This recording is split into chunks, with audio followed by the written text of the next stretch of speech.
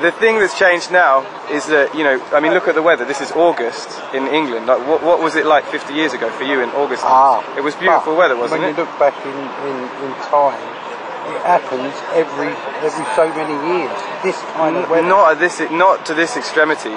You know, if you look at climate change, it happens over like thousands of years, or tens of thousands, or millions of years. Whereas we have in like in 200 years, we've become this industrialized population, and we've created so much more carbon, so much more CO2 in the atmosphere that we've just changed things beyond, you know, beyond anything like we've ever seen before. And you, you I mean, you, you look back at the last year, how the weather's What I'm been. saying is, what I'm trying to point out to you is, these ain't the main people. No, It's no. the government you've got to stop. Absolutely, and and that comes from us as people because the government, in theory, are you know they're, they're democratic. It's gone through a democratic process, and they've been elected by us, the people. And if they're not doing what we want them to do, then we need to say to them clearly, you know, this isn't right. We want you to change. And we've been doing that for a long time, and it doesn't work. The government Well, last year. work. Well, I think it is because people are so much more aware now.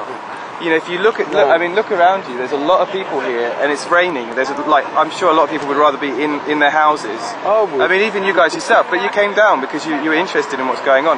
I think the social movement's changing now because people can directly see it in their own lives. They can see climate change. They can. They, the, the science is now pretty much irrefutable. You know, most most people agree that climate change is happening. It's happening because of what we're doing, and we have a responsibility not just for our, our lives, but for our children, for their children, for their children. You know, for future generations to do something about it. Because I if we don't that's act, a waste of money, all this police. well, that's their decision. Absolutely I, I- it's not. I it agree. comes back to us.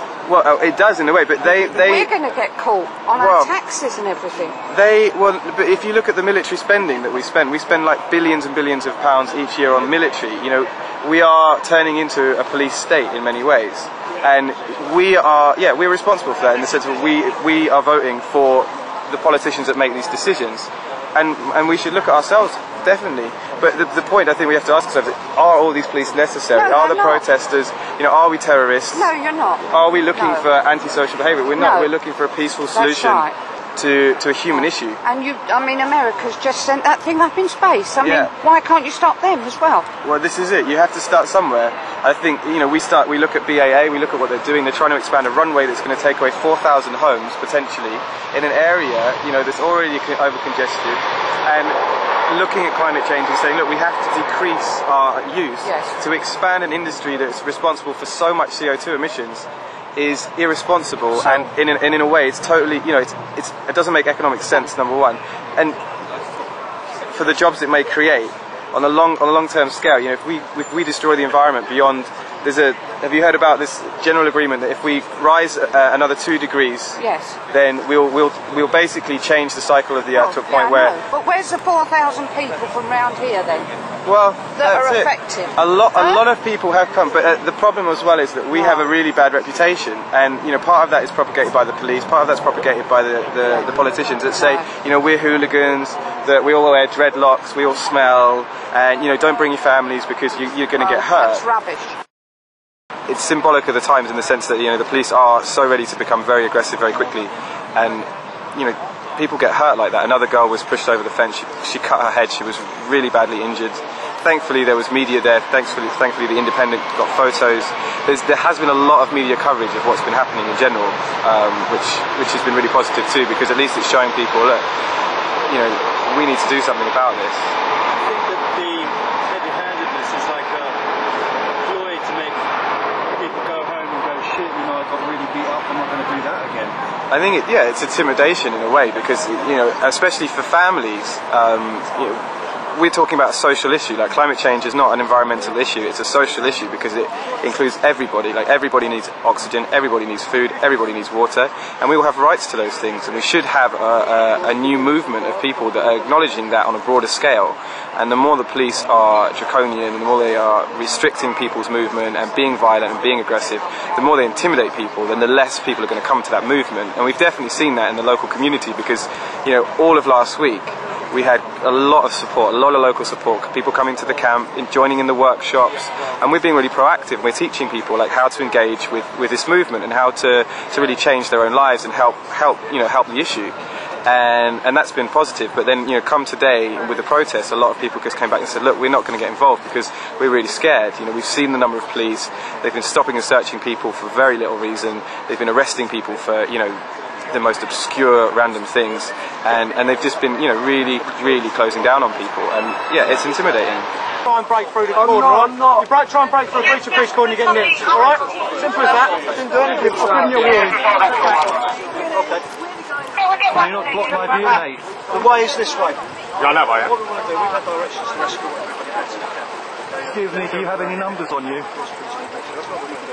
If we can persuade us. You have no identification on you, do you? It's under breach of the peace. That's how you get treated by the English police. and and a lot of them aren't wearing uh, the numbers on the side of their shirt, so you can't identify them, and that's that's part of it too. You know, that's against the law, and they're supposed to be enforcing the law. So you, you know, when the people that are enforcing the law are breaking it, you have to ask like, what you know, how what, how bad has this got? Like, you know, how far are they prepared to go to enforce what they're being told to do? And on a, on a human to human level, most of these policemen are genuinely nice people.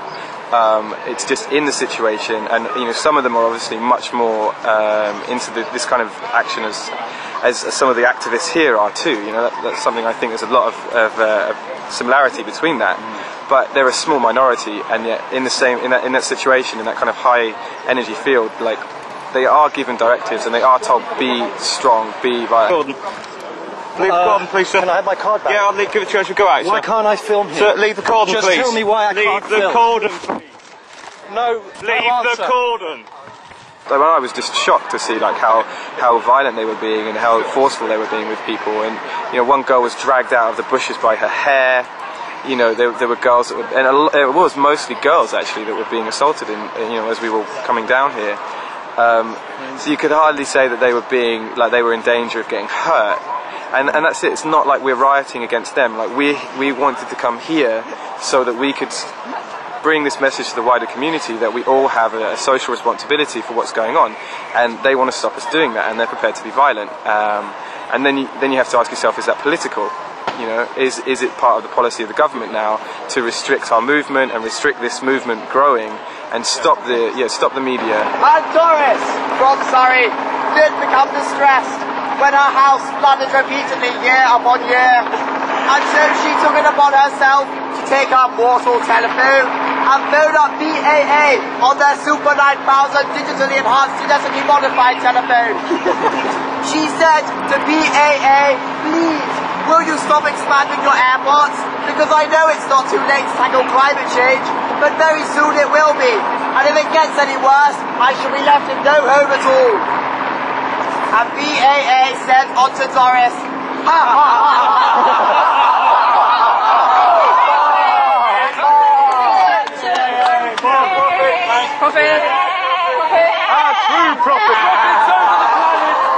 Hear about a social movement that is about change. It's not just about climate change. It's about social change. It's about looking at the way we live our lives, looking at how happy we are in our jobs, looking at the way society is. Like we're a very violent society. If you turn on your TV at night, you know you see mostly violent images. People are very, I think, um, self-destructive. There's a lot of alcohol abuse. There's a lot of drug abuse.